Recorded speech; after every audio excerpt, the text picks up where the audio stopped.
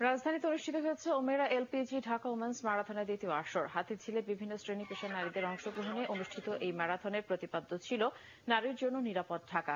ঢাকা বিশ্ববিদ্যালয়ের উপাচার্য আমর্ষ আরেফিন সিদ্দিক ম্যারাথনের উদ্বোধনী অনুষ্ঠানে অন্যান্যের মধ্যে উপস্থিত ছিলেন। এতে সেরা পাঁচজন বিজয়ীকে দেওয়া হয় মেডেল, সনদ এবং এক লাখ টাকা আর্থিক পুরস্কার।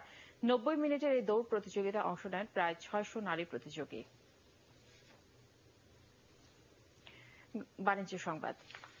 Thank you.